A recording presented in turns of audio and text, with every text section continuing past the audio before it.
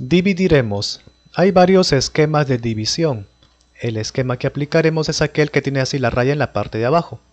El que diga entre, ese viene así, dentro.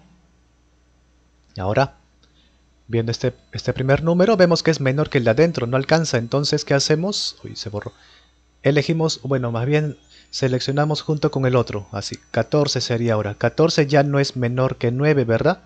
Ahora sí, entonces 9 multiplicado con qué número me acerco a 14 sin pasarme. 9 por 2 se pasa, entonces 9 por 1 que sale 9 y pones abajo para restar.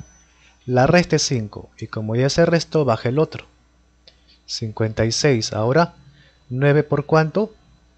A ver, 9 por 6, 54, porque por 7 se pasaría, ¿verdad? Entonces por 6 que sale 54.